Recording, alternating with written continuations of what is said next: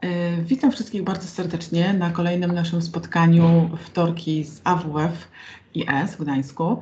E, dzisiejszym naszym gościem jest pani dr Agnieszka Małek, świetna osoba, jeżeli chodzi o praktyka i teoretyka. I zapraszamy Państwa na wykład Depresja, czyli kiedy życie dociska z każdej strony. Pani Agnieszko, przekazuję głos. Dzień dobry, dziękuję serdecznie. Dzisiejszy temat no, do łatwych nie należy, ale jest bardzo ważny z wielu e, powodów. Chociażby dlatego, że w społeczeństwie funkcjonuje bardzo dużo mitów na temat właśnie depresji. I dzisiaj chciałabym też e, troszkę o tym poopowiadać, ale nie ukrywam, że mój wykład jest skierowany głównie do młodzieży, tej młodszej, tej trochę starszej, e, dlatego że właśnie mm, szczególnie w odniesieniu do tej grupy wiekowej jest dużo takich niedomówień odnośnie właśnie depresji, e, wiele takich myśli, które gdzieś tam, stwierdzeń, które funkcjonują w przestrzeni publicznej, które czasami wręcz negatywnie wpływają na młodą osobę chorującą na depresję. Ja jestem psychologiem, pedagogiem. Tutaj na e, AWF-IS w Gdańsku prowadzę zajęcia e, głównie z pedagogiki. Zajmuję się e, też pedagogiką specjalną. I to są takie przedmioty, na których właśnie też e, opowiadamy sobie o różnych takich procesach, e, które sprawiają, że człowiek funkcjonuje tak, a nie inaczej. Jestem też e, prodziekanem do spraw kierunku terapia zajęciowa, na który tak przy okazji chciałabym serdecznie zaprosić tegorocznych absolwentów liceów ogólnokształcących, techników, ponieważ jest to właśnie taki kierunek, który mm, właśnie jest mocno skierowany mm, na wsparcie mm, osób z różnymi trudnościami, nie tylko w obszarze funkcjonowania psychicznego, ale też y, chorób somatycznych, różnych innych trudności, zaburzeń, które towarzyszą y, wielu osobom na co dzień. Także mam nadzieję, że Wśród Państwa też jest, są osoby, które właśnie mają taką pasję, chciałyby tutaj mm, pracować z innymi ludźmi, gdzie się wspierać w rozwoju e, i w codziennym życiu. Także serdecznie zapraszam do studiowania e, na naszej uczelni. A dzisiaj e, właśnie ten, ten temat o depresji, ponieważ Jutro dwie takie, mm, taka data, podwójne, podwójna okazja, a ja tutaj z tej jeszcze przyczyny, że y, pracuję y, terapeutycznie z dziećmi i z młodzieżą i właśnie od tej strony dzisiaj chciałabym pokazać depresję. Troszkę teorii pewnie też, no bo żeby, żeby gdzieś wprowadzić, ale pokażę jak to jest, jak przychodzi nastolatek, przychodzą jego rodzice, co mówią, jakie podnoszą problemy, ale też pokażę, na co najczęściej zwracają uwagę nauczyciele. Bo właśnie, już chociażby w tym momencie um, może się okazać, że gdzieś, e, gdzieś nie jesteśmy spójni w tych naszych w tych naszych um,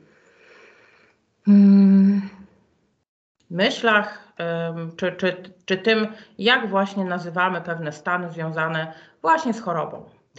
Ponieważ już któryś raz z rzędu użyłam słowa choroba, no to um, pewnie się Państwo domyślacie, że no, skoro dzisiaj o depresji, no to depresja to choroba. Tak, zdecydowanie. I to już jest pierwsza, e, pierwsza taka rzecz, taki mit, który gdzieś w społeczeństwie funkcjonuje, właśnie mówiący o tym, że hmm, czy aby na pewno jest to choroba, czy to nie jest trochę tak, że jest to jakaś wymówka? No kiedyś depresji nie było, dzieci nie chorowały na depresję. Hmm, no nie.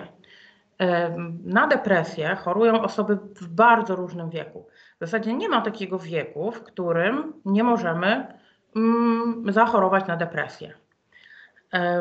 chorują zarówno dzieci, niemowlęta, chorują, choruje młodzież, chorują seniorzy. Nie ma też jakiejś takiej, mm, takiego ograniczenia odnośnie płci, bo i chorują chłopcy, i chorują dziewczę, dziewczęta, kobiety i mężczyźni. Nie ma też takiej, takiego zawodu, w którym mm, pracując mm, nie, nie mamy szans zachorować na depresję. Także myślę sobie, że jest to temat e, bardzo ważny, dlatego że um, być może właśnie ktoś, koło kogo siedzicie, e, ktoś, kto, kogo znacie, być może właśnie cierpi na depresję i 32 osoby, plus nawet. Być może wy będziecie e, tymi, które, którzy wesprą właśnie taką e, osobę. Jutro przy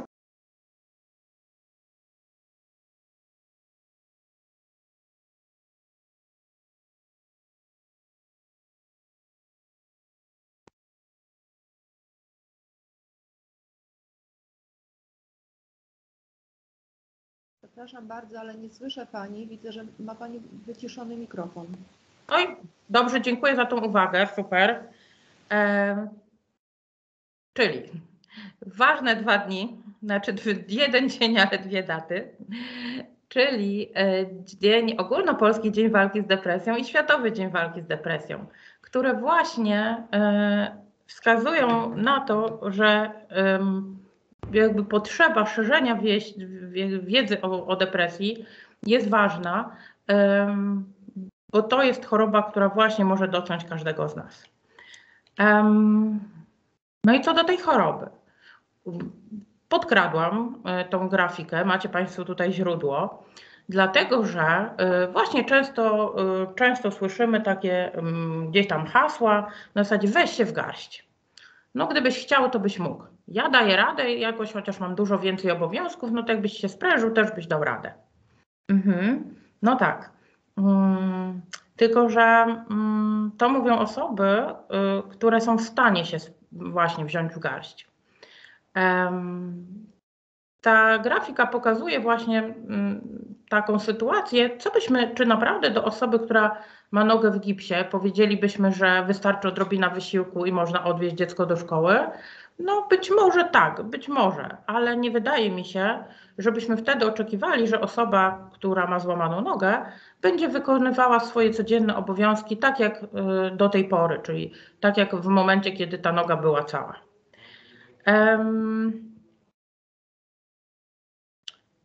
Epidemiologia, czyli jak, bardzo, jak wiele z młodych osób choruje na depresję. Badania pokazują bardzo różne wskazania, a to dlatego, że depresja no, jest, potrafi się nieźle ukrywać, jest taką dobrą aktorką. Czasami nawet e, kilka różnych masek potrafi nosić. Ale mm, stąd też mogą być kłopoty z tym, żeby te osoby gdzieś dobrze e, zdiagnozować. U dzieci około 2,5%, e, u młodzieży nawet ponad, e, nieco ponad 8% e, choruje na depresję. Co oznacza, że w takiej przeciętnej 30-osobowej klasie, no, być może nawet dwie osoby są osobami, które cierpią z powodu obniżonego nastroju. No i takie pytanie kluczowe, no ale dlaczego? Jakby skąd to się bierze? Czy to, czy to jest moda? Czy to jest tak, że teraz wszyscy cierpimy na y, zaburzenia nastroju, a nasze dzieci i młodzież po prostu mają teraz y, taką modę, że właśnie y, chorują na depresję? No, tak nie jest. Um, przyczyn tych, w których należy szukać tych źródeł depresji, są takie dwie główne grupy czyli te czynniki, które predysponują, ale też te wyzwalacze. I wiele z tych czynników takich predysponujących, no to są takie czynniki leżące w, danej osobie. Podatność genetyczna, to nie znaczy zawsze, że to musi być taka sytuacja, że ktoś w naszej rodzinie chorował na depresję. Może to być mutacja de novo, coś, takie, coś się zdarzyło właśnie w momencie, kiedy mm, dochodziło do zapłodnienia, tak, no nie poradzimy nic na to, ale właśnie występowanie w rodzinie zaburzeń nastroju em, bardzo często w, w, właśnie jest takim czynnikiem e, predysponującym takim, który jednak zwiększa ryzyko, y, że sami też zachorujemy na depresję. Choroby y, przebyte we, wcie, we wczesnym dzieciństwie, różne traumatyczne doświadczenia, na przykład szpitalne czy choroba nowotworowa, różne ciężkie choroby somatyczne, ale też taki sposób indywidualny, taka podatność na reagowanie na różne stresory w, właśnie w taki depresyjny sposób. Czyli na przykład, jak coś się dzieje w moim otoczeniu, to ja naturalnie, mój organizm jakby odmawia jedzenia. Albo y, nasz sen jest, staje się zaburzony. Czyli albo nie śpimy, albo właśnie jakby tak sobie organizm y, radzi, że idzie w sen. Czy właśnie taka, takie y, patologiczne zmęczenie. E, Drugą taką e, grupą tych czynników osobistych, predysponujących, są e, właściwości psychologiczne i one są związane na przykład z rozwojem intelektualnym, słabą regulacją emocji, z małymi umiejętnościami społecznymi i w zakresie rozwiązywania problemów. Do tego czynniki środowiskowe, one głównie mają charakter rodzinny, czyli tego, co się wydarzyło w naszym życiu na wczesnym etapie naszego, naszego życia. I głównie one są lokowane właśnie e, w rodzinie. I tu na przykład brak wystarczającego wsparcia w tej rodzinie albo wśród osób bliskich, e, niewystarczająca opieka, ale także zaniedbywanie ze strony opiekunów, czy też wykorzystanie seksualne, ale też wszystko to, co wiąże się z, ze stylem wychowania, ze sposobem, w jaki właśnie no, rodzice zarządzają tak, wychowaniem. I tu na przykład wskazuje się na taką nadmiernie karzącą dyscyplinę. Czyli skupianie się właśnie na karach, a, a nie na pokazywaniu tego, że przecież nie tylko robimy różne rzeczy mm, źle, ale przecież robimy multum rzeczy fantastycznie. Kolejną rzeczą, takim czynnikiem, mm, który może leżeć u podłoża e, e, tych zaburzeń e, nastroju, jest właśnie odczuwanie takiego, mm, w zasadzie nieodczuwanie, albo tutaj jakieś czynniki, które właśnie skutkują takim, takim poczuciem, że no, nie jesteśmy bezpieczni, tak? Że coś się takiego dzieje, że my jakby nie mamy tej bezpiecznej bazy. I na przykład tą bazą, y, tą, ta baza to, y, to może być po, na przykład taka, taka sytuacja, że y, nie możemy, właśnie nie umiemy, nie możemy, jesteśmy karani na przykład za to, że, mm, że się dzielimy swoimi emocjami, tak?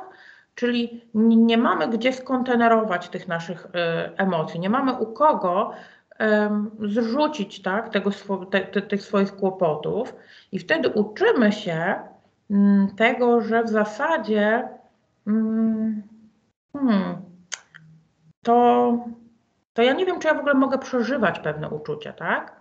A pamiętajmy, że emocje i uczucia, no to, to, to jest coś, to jest naturalne, y, bardzo ważne, dlatego że gdyby nie emocje, no to nasz organizm nie otrzymywałby wielu wskazówek. No na przykład złość. Złość jest bardzo potrzebna jako emocja, tak? No bo co nam mówi złość? No złość nam mówi to, że coś idzie nie po naszej myśli. No to super, że jest jakieś takie wskazanie, tak? Że nasz że nasz mózg odczytuje taką informację, no więc bo my możemy wtedy na przykład spróbować jakoś sobie poradzić z tą sytuacją. No i teraz, jeżeli jakby y, y, nie uczy się tego, że jakby możesz sobie, możesz przyjść, możesz gdzieś te emocje skontenerować. Dodatkowo jakby nie uczymy też dzieci tego, że wszystkie emocje są ok. No to, to, to może być tak, że my nawet nie jesteśmy pewni tej, tej, tej jakby tego, że my mamy prawo do odczuwania pewnych uczuć e, czy emocji. No i wszelkie badania pokazują, że jeżeli e, nasza mama cierpiała na depresję lub cierpi, to w, e, no, ryzyko, że my też będziemy chorować na depresję jest większe. I tu mogą być zarówno czynniki, wchodzić w grę czynniki genetyczne, ale też właśnie modelowanie jako taki pewien wzorzec e, funkcjonowania i radzenia sobie w różnych sytuacjach. No i teraz do tych czynników takich predysponujących, czyli tej takiej jakby bazy, dochodzą różne czynniki środowiskowe, te takie, które są takim wyzwalaczem, tak? Czyli bomba sobie może być, ale dopóki my jej nie odpalimy, no to ona nie będzie, tak, ona nam nie, jakby nie, nic się złego nie stanie, tak? No ale jak już podpalimy ląd, no to może się okazać, że jeżeli go w porę nie wygasimy, no to będzie dużo szkód. I w tych, wśród tych czynników wyzwalających na przykład jest utrata bliskiego. Utrata bliskiej osoby to niekoniecznie musi być śmierć, ale na przykład strata przyjaciela. Czy to, że zostaliśmy e, porzuceni jako mm, właśnie od, odrzuceni. Mm, tu też e, pamiętajmy o tym, że no, mm, związki romantyczne, ten moment, kiedy wchodzimy w pierwsze relacje, tak, no to to jest coś, coś niebywale pięknego. E, takie właśnie zauroczenie, zakochanie. No ale właśnie odtrącenie czy utrata e, mm, dziewczyny, chłopaka, e, przyjaciela mm, też może być taką sytuacją, takim wyzwalaczem. Kolejną rzeczą, takim czynnikiem wyzwalającym są niepowodzenia szkolne. I te niepowodzenia, one mają, mogą mieć oczywiście bardzo różnorakie źródło, ale mm, jeżeli doświadczamy takich ciągłych niepowodzeń, tak, lub są one nagłe, ale takie mm, bardzo wiążące się z bardzo dużymi emocjami, one też mogą być tym wyzwalaczem. Kolejną rzeczą właśnie też y, choroba somatyczna, y, bardzo często różne mm, choroby, które wydawałoby się, że już są za nami, tak? I to wcale nie musi być te, ta choroba nowotworowa, o której mówiłam, ale to może być na przykład jakaś e, choroba, e, która uniemożliwiała nam funkcjonowanie tak jak do tej pory, jakoś wykluczyła nas z tego codzien, z tej naszej po prostu codzienności. Dodatkowo przemoc, czy to przemoc właśnie rówieśnicza, ale też przemoc ze strony dorosłych doświadczana, Kolejnym takim, takim czynnikiem mm, są zmiany środowiska, na przykład zmiana szkoły, zmiana e, miejsca zamieszkania, e, czy właśnie w ogóle przeprowadzka do, do innego miasta, do innego kraju. No i e, konflikty w rodzinie to jest, to jest też bardzo, bardzo taka istotna, istotny czynnik. No i one, jak pewnie się można domyślić, e, no nie muszą występować osobno. Bardzo często one się na siebie nakładają, dlatego że na przykład e, po długotrwałej chorobie, albo jeżeli mamy chorobę stygmatyzującą, e, taką, która mm, w takim odbiorze społecznym, mm, no jakby stawia nas gdzieś poza, tak? No to taka choroba też może, y, nie musi być o jakimś gwałtownym przebiegu, ale niesie ze sobą chociażby to, że jeżeli nie możemy uczestniczyć w zajęciach i jeszcze do tego na przykład utracimy kogoś bliskiego, bo odwrócą się od nas nasi znajomi, czy stracimy właśnie pierwszą miłość, no to to, jak, to się może kumulować. I y, kolejną rzeczą, o, którą, o której chciałabym powiedzieć, bo ona jest bardzo często wyróżniana jako taka osobna, są zniekształcenia poznawcze. To jest coś takiego, to, to kto był w Wesołym Miasteczku, tudzież w jakimś innym mm, takim parku naukowym, być może miał okazję doświadczyć tego, y, jak to jest mm, odbijać się w takim krzywym zwierciadle. To nie to, że to my jesteśmy inni, to, te, to, to, to, to nasze wyobrażenie, to co widzimy jest y, nienaturalne, tak? I tak trochę działa nasz mózg, że on mm, też nam czasem zniekształca, tak robi nam taki właśnie takie krzywe zawierciadło takiej, y, tej rzeczywistości. Czyli nasze doświadczenia, to co słyszeliśmy od innych na nasz temat, ale to właśnie jaką mamy konstrukcję psychiczną, czy y, jaką mamy samoocenę, e, to jak nas właśnie chociażby wspierali nasi rodzice, jakie mieliśmy relacje z rodzeństwem, em, no to może sprawiać, że my siebie troszkę takim krzywym zwierciadle widzimy. To, to, to, to nasze odbicie nie jest dokładnie takie, mm, jaki, jacy my jesteśmy, ale my wierzymy, że właśnie to nasze odbicie jest prawdziwe.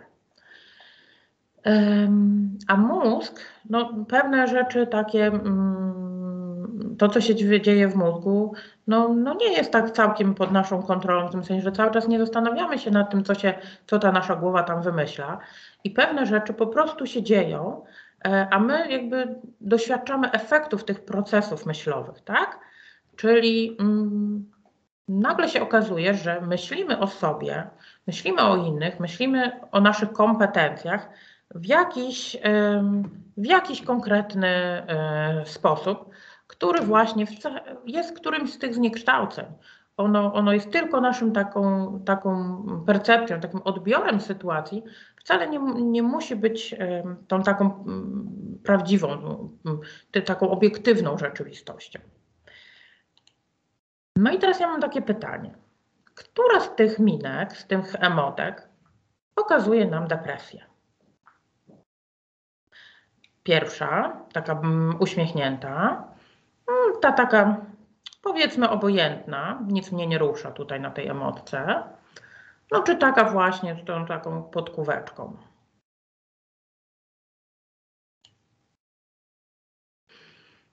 No Jestem ciekawa, ile osób wskazało na trzecią, na pierwszą, na drugą. No i kto wygrywa? Która emotka? Wszystkie. Dlaczego? Właśnie dlatego, że z depresją u dzieci i młodzieży no, nie jest tak prosto, jakby się wydawało w przypadku właśnie takiej, takiej powszechnej wiedzy na temat depresji. E, Nie trzeba być smutnym. To nie jest tak, że trzeba być koniecznie smutnym, markotnym i siedzieć w domu. Tutaj teraz trochę takiej teorii, czyli tego, na jakiej podstawie diagnozujemy mm, depresję. No i co najmniej pięć e, czynników występujących niemal codziennie przez okres dwóch tygodni i musi to jakby wpływać na e, dotychczasową zmianę funkcjonowania. I albo ten e, depresyjny nastrój, albo rozdrażnienie. Istotne zmniejszenie zainteresowań lub obniżenie przyjemności w takich działaniach codziennych. I to może być e, subiektywne albo obiektywne, czyli to nie, niekoniecznie osoba chora, chora na depresję to widzi, tylko jej otoczenie. E, Spadek wagi pomimo braku diety albo przyrost wagi. Bezsenność lub nadmierna senność, pobudzenie psychomotoryczne lub zahamowanie psychoruchowe, zmęczenie bla, lub brak energii. No, jak sobie tak e, wymieniamy, to w zasadzie mm, no trochę chaos, prawda? Tak, na zasadzie, no to w końcu jak to jest? No bo albo to, albo to, a tu jest i to, i to może być, tak? Mm, No właśnie, bo to jest właśnie ten kłopot, że mm, depresja mm, nie jest taka oczywista, tak? Że właśnie wcale nie musi wy- wyglądać jak ta trzecia emotka. E, Poczucie braku własnej wartości y, lub nadmiernej, często nieadekwatnej winy, zmniejszona zdolność myślenia lub koncentracji uwagi, czy takie w ogóle ogólne niezdecydowanie i powracające myśli o śmierci i myśli samobójcze. Oczywiście są jeszcze inne takie kryteria, które y, mm, jakby musimy wziąć przy, pod uwagę przy e, diagnozowaniu depresji, ale myślę sobie, że mm, akurat no tak, żebym była w zgodzie ze sobą, to pokazuję, ale myślę sobie, że akurat nie jest to kluczowe tutaj dla tego wykładu. Czyli co najmniej pięć objawów, co najmniej przez okres dwóch tygodni, przez większą część dnia, powodują cierpienie i zaburzają funkcjonowanie. I one mogą być właśnie lub są widoczne dla innych, dlatego że one wcale nie muszą być subiektywnie, od, yy, znaczy nie muszą być w ogóle odczuwane przez osobę yy, chorą. To może być tak, że ona nie uważa, że się coś zmieniło. No i teraz przechodzimy do tego, y, co ja, tak, od czego gdzieś tam wychodziłam też, że depresja jest bardzo dobrą aktorką. Potrafi przybierać naprawdę multum różnych masek, grać wiele ról. I jedną z takich roli, którą gdzieś świetnie gra, to jest właśnie ta, ta boleściwa taka, y, czyli somatyzację, czyli wszystko, to, co my w ciele czujemy. Jak nam ciało pokazuje, że coś jest nie tak no bo pamiętajmy, że mm, ciało i nasz umysł to nie są dwie odseparowane od siebie rzeczy. Jedno wpływa na drugie i, i, to jest taki proces, który dzieje się cały czas. W związku z czym, jeżeli coś się dzieje w obszarze naszego zdrowia psychicznego, no to całkiem być może, że to ciało będzie tą pierwszą, e, pierwszą mm, częścią, która nam coś pokaże. Najczęściej bóle brzucha, bóle głowy i zawroty głowy. Tak? Czyli tutaj może być tak, że my najpierw zastanawiamy się, czy przypadkiem, jeżeli jesteśmy nastolatkiem, no to nie są jakieś takie kłopoty związane na przykład z tym, że dojrzewamy, że mm, na przykład jakieś zaburzenia hormonalne, albo rośniemy po prostu i może stąd jakieś kłopoty mm, sercowo-naczyniowe. Ale często mm, Depresja to je, pokazuje się w ten sposób, że właśnie jest jakiś kłopot, e, że dzieci odmawiają chodzenia do szkoły. No i oczywiście może to tak być, że to wcale nie dlatego odmawiamy chodzenia do szkoły, że akurat chorujemy na depresję, to może być zupełnie coś innego. Ale właśnie e, bardzo często takim kłopotem jest e, taką rzeczą, z którą zgłaszają rodzice dzieci, to jest to, że właśnie nie chce chodzić do szkoły i jeszcze w dodatku słabo się uczy drażliwość, czyli taka wybuchowość, y, y, bardzo często właśnie taki, no, po prostu jedna i druga strona w relacji, czyli na przykład nastolatek i, y, i rodzic, no po prostu cały czas funkcjonują w tak, tak z iskierkami, tak? Między nimi cały czas iskrzy i to oczywiście też nie musi być od razu objaw depresji, tak? Apatia, zaburzenia łaknienia, Zdarza się tak, że w, do poradni, w której e, pracuję, przychodzą rodzice, zgłaszają dzieci, bo y, syn czy córka cierpi na zaburzenia odżywiania, na przykład no, wydaje się, że to może być y, mm, bulimia albo anoreksja. I okazuje się, że właśnie to jest taka, mm, taka e, maska, którą przybrała depresja że jednak y, oczywiście kłopot z jedzeniem jest, to, to nie ulega wątpliwości, ale y, przyczyną tą pierwotną właśnie są zaburzenia nastroju.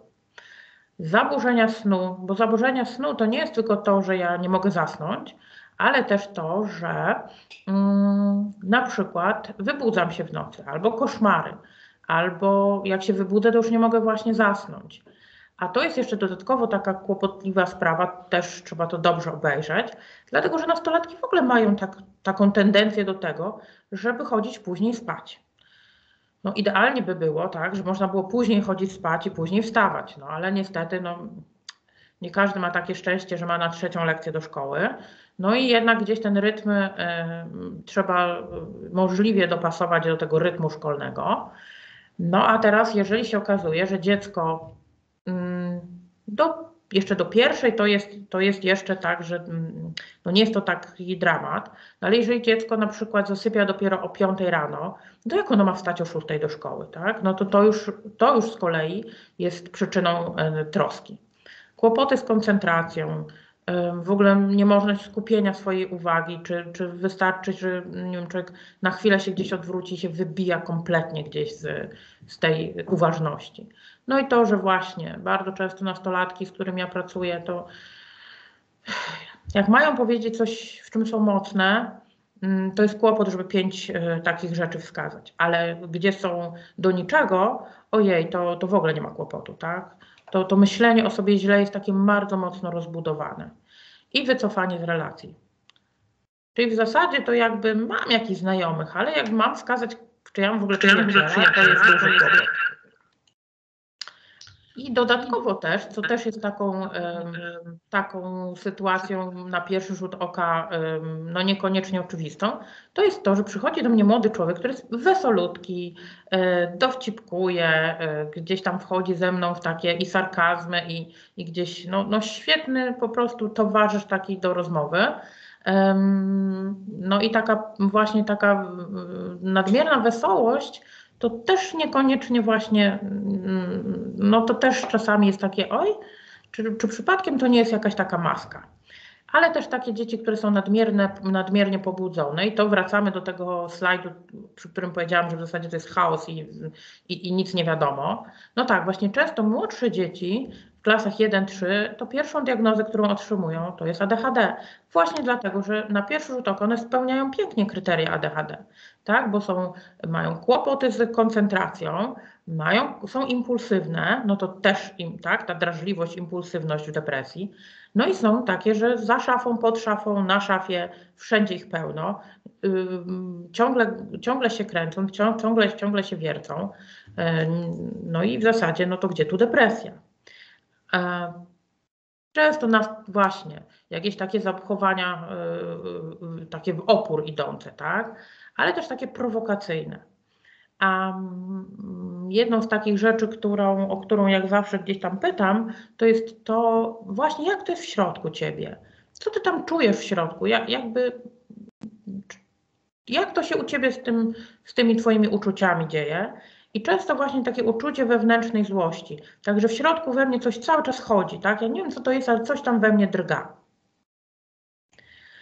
No i e, to, co, e, to, co jest bardzo interesujące, to jest e, to jak właśnie młodzi ludzie mówią o tym, co się z nimi dzieje. Jak oni to sami nazywają. Nie wiem, co się ze mną dzieje. Tak. Czasami po prostu nie wiedzą, co się dzieje. Jak to nazwać? Albo mówią, że wszystkiego im się odechciało.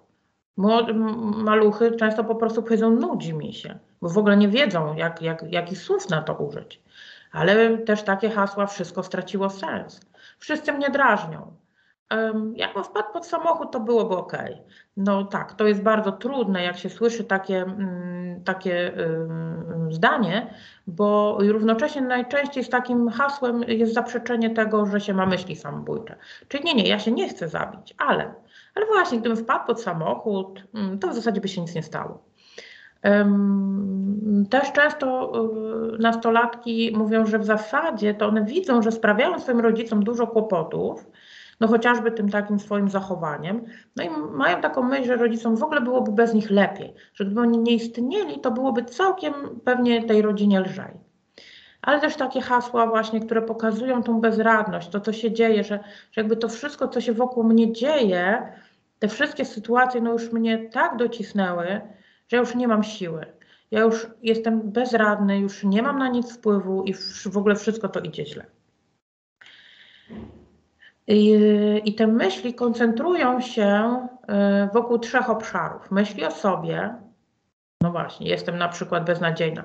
To są wszystko cytaty z moich pacjentów, także to nie jest tak, że sobie siadłam i wymyśliłam. To jest to, jest to co, co, co mówią dzieci, które przychodzą. Mm, Nic mi nie wychodzi, jestem głupi, nieważna, nic nie umiem. Mhm. I tutaj też jest właśnie ta kwestia tych, y, tego, tych właśnie zniekształceń poznawczych, tak? Tego lustereczka. Także właśnie nasz umysł nam troszkę tak podstawia nogę, tak? Czyli idąc na skróty z pewnymi, no bo to już nie ukrywajmy, no jakby mózg lubi oszczędzać energię. Jeżeli wiadomo, że pięć razy jakby coś się sprawdziło, to pewnie na skróty jak następnym razem pójdę, to też będzie ok. Em, Szczególnie jak na przykład słyszę takie komunikaty od kogoś, no to, to jakby dlaczego mam wątpić, że tak jest. No i często przyjmujemy to tak jak swoje. A później na tym narasta jeszcze dodatkowo, narastają takie myśli, że w zasadzie to nikt mnie nie rozumie. Albo że nikomu na mnie nie zależy, Nikt mnie nie lubi, a za to się wszyscy mnie czepiają. I na tym w ogóle budują się myśli o naszej przyszłości. O naszej przyszłości, w ogóle co do której czasami nawet y, jakby ta dorosłość y, jakby nie jest brana pod uwagę, że w zasadzie po co myśleć o przyszłości? Tak? Na mnie taki, jed, taki młody człowiek, z którym miałam do czynienia właśnie w terapii, to wprost nakrzyczał. Na zasadzie, ale po co ja mam myśleć o, w ogóle o przyszłości? Kiedy to i tak jest bez sensu wszystko. No to po co mnie pani pyta? Mhm, no właśnie, dorosłość w ogóle może być do bani, tak? Bo jeżeli ja sobie teraz nie radzę, jestem w ogóle do, do niczego, no to po co w ogóle być dorosłym? No już nie mówiąc o studiach i jakby, żeby coś w ogóle w życiu osiągnąć, tak? Będę nikim. Mhm. Em, no a jak z kolei nazywają rodzice to, co się dzieje z dzieckiem? Co oni mówią? Jest leniwy, tak. I zawsze dopytujemy właśnie, to, a co to znaczy, że jest leniwy? No bo później dziecko to przyjmie za swoje, tak? Że to ono jest leniwe i to będzie jego wkładka w tej pierwszej rubryce. Nie można się z nim dogadać. Zamyka się w pokoju, przestał się uczyć, nie można zapędzić go do spania. Całymi dniami tylko snuje się po domu, wybucha bez powodu. I teraz zobaczcie Państwo, no być może jakaś część z tego, tak, snuje się po domu, no dobra, to można jakby tutaj ym, dopasować, jak że, rzeczywiście no, snuje się po domu, no to może gdzieś tam ten nastrój jest zaburzony. Ale też z drugiej strony, no co to jest dziwnego w tym, że nastolatki zamykają się w pokoju? To generalnie się zamykają w pokoju, tak? No tu patrzymy na ten naturalny rytm dnia, że nie można nastolatka zapędzić do spania. No jakby wiecie Państwo, byłam już jakiś czas temu nastolatkiem, ale jeszcze to pamiętam. Yy, no, dokładnie. 12, północ to się życie zaczynało, nie? Dopiero. Się człowiekowi dopiero chciało cokolwiek robić. No tak, tylko jeżeli to jest właśnie y, piąta rano, no to to już nie jest ok, tak? Ten, to, to już troszeczkę jakby za bardzo się wymknęło spod kontroli. E, A jak w szkole funkcjonuje uczeń z depresją? To są często rzeczy, które e, gdzieś z takie uwagi, które są z e, dzienników elektronicznych albo z moich rozmów z mm, nauczycielami.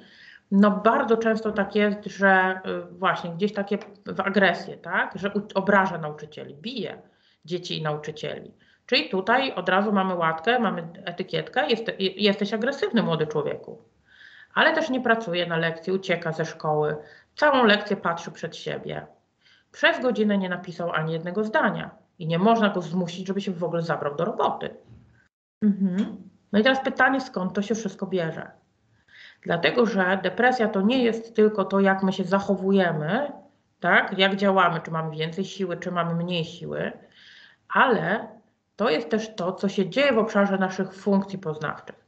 Czyli tych, tego wszystkiego, tych czynności psychicznych, które służą nam do tego, żebyśmy w ogóle się orientowali w otoczeniu, zdobyli jakieś informacje o sobie, o naszym organizmie, umieli analizować sytuację, czy podejmować jakieś działania na bazie jakichś wcześniejszych na przykład wniosków, albo takiego trochę y, bawienia się we wróżkę, czyli przewidywania, że jak zrobię to, no to efektem może być to.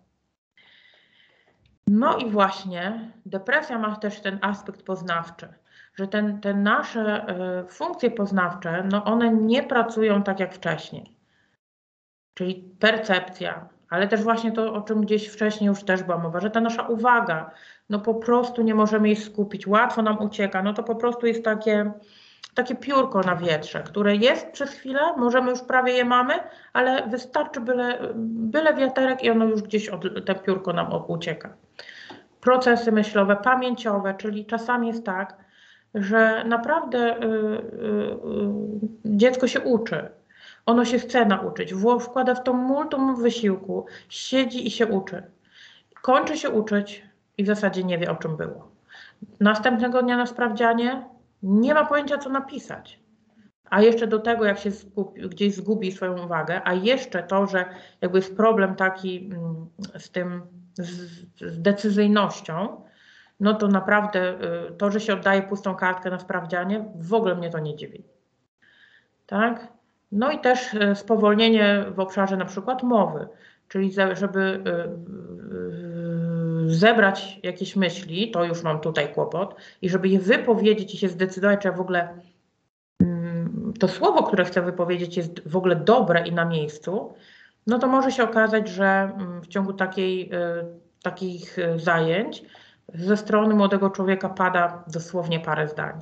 Właśnie dlatego, że on każde zdanie mm, tak bardzo mocno ogląda ze wszystkich stron. No to jak funkcjonować w szkole? Jak odpowiedzieć? Jak się zgłosić? Jak być na czas ze z tymi swoimi myślami?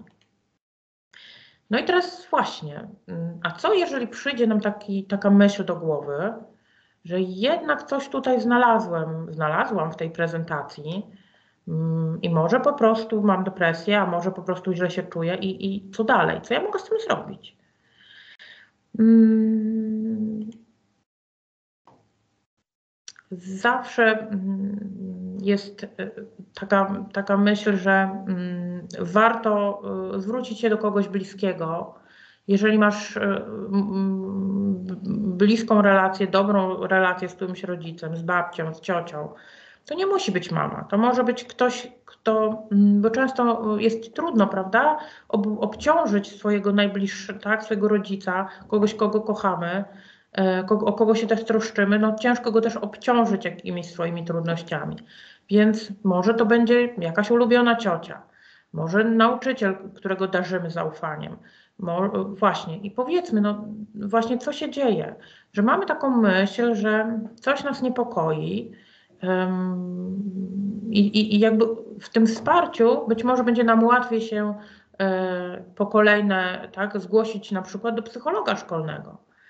To nie jest tak, że psycholog szkolny, no to, to, to jak ja byłam hmm, uczennicą szkoły podstawowej, no to, to, to jakby do psychologa się chacało głównie z kłopotami, ale takimi, no nie ukrywam, że hmm, z zachowaniem się chadzało, tak, chadzałam do psychologa, tak, byłam z bujem i mi tak zostało trochę do dzisiaj, mm, ale jest to osoba, która właśnie jest po to, żeby nas wesprzeć. I nie ma takiej troski, która by była niewarta uwagi, tak? To jest właśnie osoba, która macie wesprzeć. I można się do swojego psychologa szkolnego zwrócić. Psychologa obowiązuje tajemnica, więc to nie jest tak, że psycholog pójdzie i za chwilę wszystkim wypapla to jest osoba, której składamy w zaufaniu, ja tego, tego zaufania e, dotrzymuję. No chyba, że no to to jest taki warunek, że no jakby nasze życie jest zagrożone, tak? No to wtedy jakby priorytety się trochę zmieniają, tak? No i taka myśl, że być może to nie przejdzie. Bo czasem sobie tak lubimy, a tam gardło mnie bolało, jakoś samo przeszło, nie? No właśnie, ale być może jednak to złe samopoczucie nie przejdzie. I takie e, mm, czasami mm, myśli, które się gdzieś w eterze pojawiają, takie zdania, że to idź sobie pobiegaj. No nie. Tutaj, e, jak się pojawiła e, zajawka tego spotkania, rozmawiałam ze studentką. E, przypomnę, pracuję w Akademii Wychowania Fizycznego i Sportu. No i rozmawiałam ze studentką i ona mówi, że jak była już tutaj u nas na studiach na pierwszym roku, to właśnie też chorowała na depresję. I poszła do, gdzieś do lekarza i lekarz jej powiedział, niech pani więcej biega. Mhm. No myślę, że to, to nie, nie była rada w punkt, bo na AWF-ie no, też się biega. Więc y, no nie jest tak, że, mm, mm, że jak sobie pobiegamy, to nam przejdzie. Aktywność fizyczna jest bardzo ważna, oczywiście w, w pracy nad nastrojem, tak w ogóle w, w, dla zachowania y, naszego zdrowia y, psychicznego i fizycznego, no ale nie jest lekarstwem na wszystko. Tak samo um, czasami um, takie powiedzenia właśnie, że um, nie wiem, faceci nie proszą o radę, tak, o pomoc, nie, nie, to, to tak nie działa. Można prosić o pomoc i mamy naprawdę dużo osób, które takiej pomocy udzielą. E, bo jeżeli nie przejdzie, no właśnie, a jeżeli nie przejdzie, y, statystyki osób młodych, które mm, odebrały sobie życie albo myślały, dokonały jakiejś próby samobójczej, wskazują, że nawet 90% z nich mm, spełniało kryterium depresji albo wręcz chorowało na depresję w danym momencie albo wcześniej. Czyli jeżeli wcześniej, to możemy myśleć, że y, miały nawrót. Dlatego tak ważne jest, żebyśmy nie y, ignorowali, nie bagatelizowali albo nie myśleli, dobra, dobra, przejdzie. Gdzie możemy szukać jeszcze pomocy? U psychologa, psychoterapeuty, e, poradnie zdrowia psychicznego, e, poradnie psychologiczne dla dzieci i młodzieży. E, lekarz pierwszego kontaktu też jest osoba, która nas pokieruje, lekarz psychiatra, ale też telefon zaufania dla dzieci i młodzieży, na przykład ten prowadzony przez Fundację Dajemy Dzieciom Siłę czy telefon taki dziecięcy zaufania prowadzony przy Rzeczniku Praw Dziecka. Ale y, jeżeli właśnie wśród Państwa, którzy są dzisiaj tutaj ze mną na tym spotkaniu, jakby teraz właśnie taka myśl o, o potrzebie wsparcia się y, gdzieś pojawiła, to jest też telefon, oczywiście na te telefony też y, można dzwonić te wcześniejsze, tak, na przykład telefon zaufania dla dzieci i młodzieży, ale ten dziecięcy telefon, też wtedy, kiedy to my jesteśmy rodzicem dziecka, czy opiekunem dziecka, które właśnie wydaje nam się, że cierpi na depresję. Także coś się z nim dzieje nie, nie tak. Tam też się możemy udać o pomoc.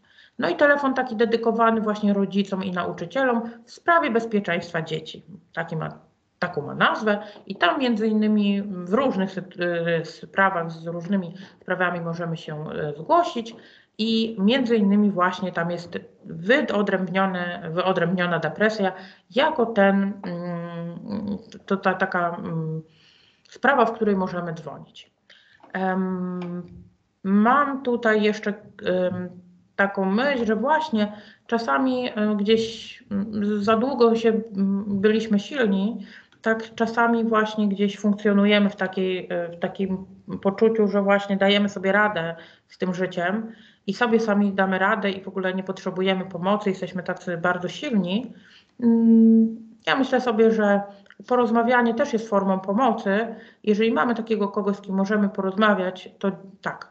To jest też bardzo, bardzo dobra, do, dobra myśl, żeby um, gdzieś w ogóle zacząć uczyć się tego, że możemy rozmawiać o swoich Y, emocjach, o tym, co czujemy. E, parę publikacji, które zdecydowanie polecam. Dwie z nich przyniosłam, więc pokażę na monitorze tutaj, o, na ekranie. To jest depresja nastolatków, świetna. I tego samego um, trio, e, nastolatek a depresja, bardzo dobre publikacje, bo one są takie mm, dwustronne, że tak powiem. Czyli zarówno dla rodzica i dla opiekuna, ale właśnie też e, mają takie działy specjalnie dedykowane nastolatkowi, które tak pokazują, słuchaj, dzieje się to, to i to, to może być właśnie na przykład dlatego tak? I też takie wspierające, y, gdzieś tam mm, wspierające myśli, na przykład właśnie mm, o tym, jak funkcjonować w różnych, y, przy różnych trudnościach. Z takich czynników ochronnych, które teraz ostatnio wskazano, właśnie w pandemii, odnośnie depresji, to są właśnie tak, taką główną, głównym tym czynnikiem wskazano więzi społeczne tak? Czyli mm, to jest ta siła gdzieś tego, tego bycia, w, bycia w relacji. Mm, to nas, jak się okazało, nastolatki najbardziej, nas, nas nastolatki, hmm, tak, to nastolatki najbardziej e, chroni właśnie przed tym, żeby ten nastrój, e, mimo tam takich chwilowych wahań, gdzieś mm, się utrzymywał na takim prawidłowym poziomie. Oczywiście higiena snu, zbilansowane żywienie, no i aktywność fizyczna, e, która e, też e, dobrze wpływa właśnie na, na zdrowie nie tylko fizyczne, ale też tą kondycję psychiczną. Troszkę przeciągnęłam. Mm, bardzo Państwa za to przepraszam, ale jeżeli są jeszcze jakieś pytania, jestem do Państwa dyspozycji.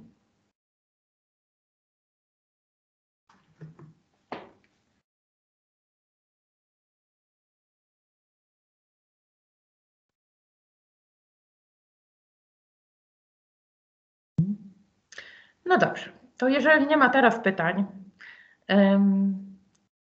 to zawsze myślę sobie można przez biuro promocji e, czy przez naszą e, tutaj e, naszego Facebooka dopytać.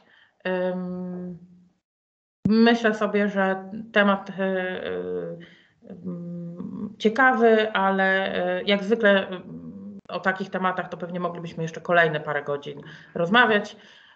Dziękuję Państwu serdecznie za dzisiaj i w imieniu e, pracowników e, naszej uczelni zapraszam na kolejny, e, na kolejny wykład wtorkowy.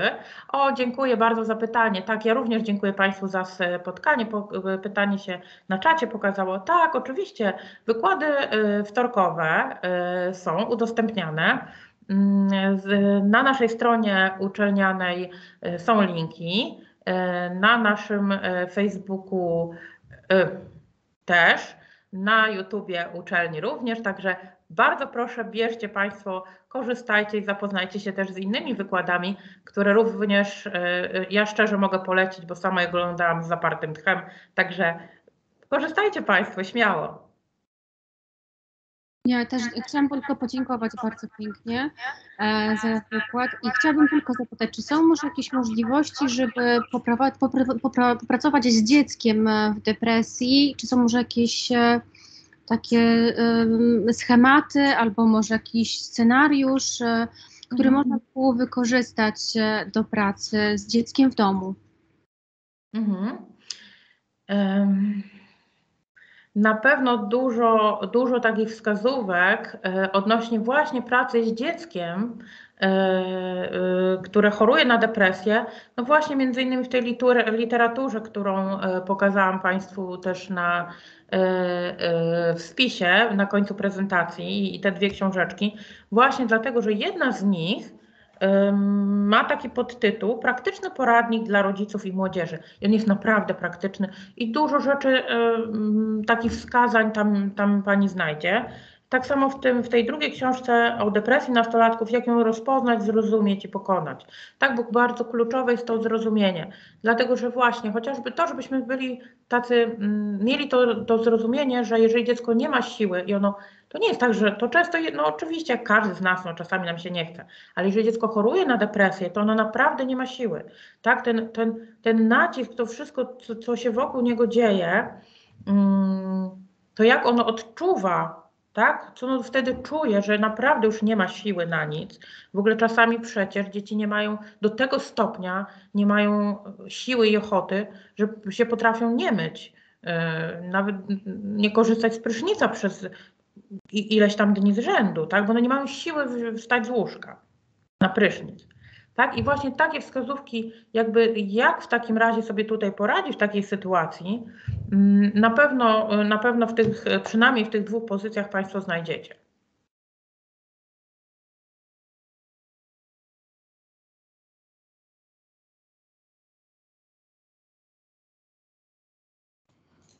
Okej, bardzo dziękujemy Pani Agnieszko za wykład. Yy, Dobiega godzina 11, także wszystkim bardzo serdecznie dziękujemy za obecność i prosimy o śledzenie naszej strony internetowej, gdzie będą kolejne zapowiedzi wtorku z AWF-IS. Dziękujemy, do widzenia. Do widzenia, dziękujemy.